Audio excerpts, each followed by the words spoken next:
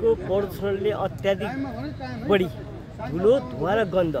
जसबाट चिनी मिल सञ्चालन हुनुभन्दा पनि अगावैदेखिबाट यसले जुन डिस्टिलरी सञ्चालन गरेको छ त्यसको अत्याधिक बढी दुर्गन्ध र धुलोले यो स्थानीयवासीलाई सबभन्दा बढी यो हाम्रो विशेष गरेर सुनल नगरपालिकाको चावडा वडाका जनतालाई प्रत्यक्ष असर बिहानदेखि बेलुकीसम्म चौबिसै घन्टा राति सुतेको बेलामा नि बिउजिने तरिकाले यसले निद्रामा नि बिउजाउने तरिकाको गन्ध दूषित फैलाइराखेको देखिन्छ।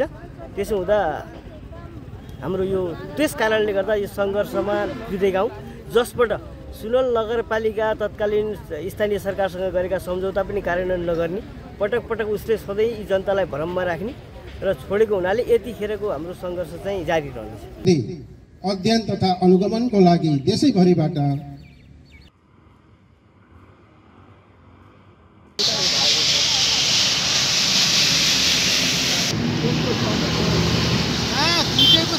वासीहरू धेरै रोचक भएको अवस्था हो। यो रोचकताको फाइदा अब चिनी उद्योगको मालिकले लिएको अवस्था छ। अब प्रदूषणको अवस्था व्यापक छ।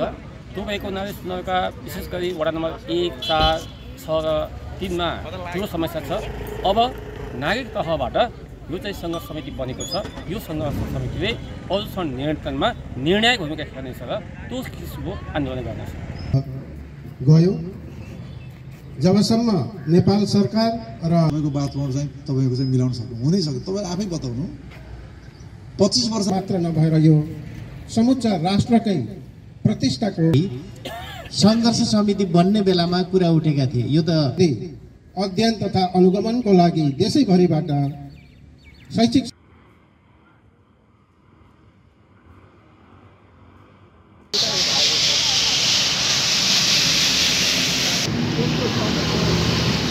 टीचर हाँ, को देखो फिर सुन रही